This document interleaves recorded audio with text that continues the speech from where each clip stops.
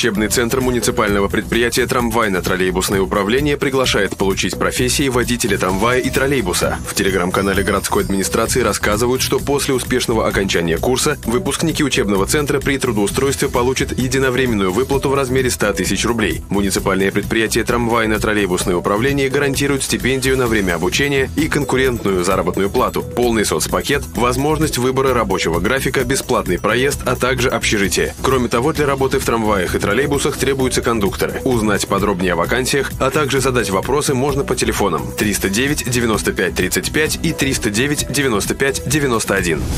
На территории городского округа Самара более 40 действующих фонтанов, напоминают в телеграм-канале Департамента городского хозяйства и экологии. Самый старинный расположен в Струковском саду и был создан еще до революции. Ответственность за состояние и эксплуатацию фонтанов возлагается на специализированные организации. В период работы очистка водной поверхности от мусора производится ежедневно. Категорически запрещается использовать фонтаны для купания в хозяйственно-бытовых нуждах, бросать мусор, загрязнять химическими, моющими и другими веществами.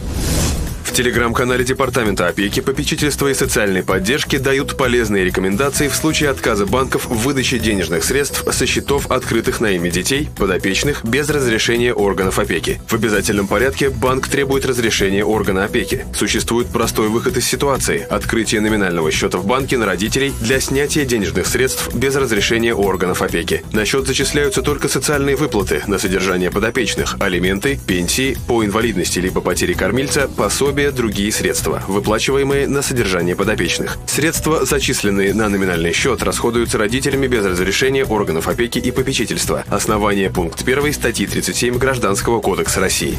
Какие объекты культуры в Самаре можно посетить по Пушкинской карте, рассказывают в телеграм-канале промышленного района. Музей имени Алабина, музей Модерна, дом-музей Ленина, дом-музей Фрунзе, исторический парк «Россия. Моя история». Во всех музеях можно заказать экскурсию по Пушкинской карте для организованной группы. Посетить посетить выставку или мероприятие по Пушкинской карте может только владелец карты. С собой нужно принести удостоверение личности.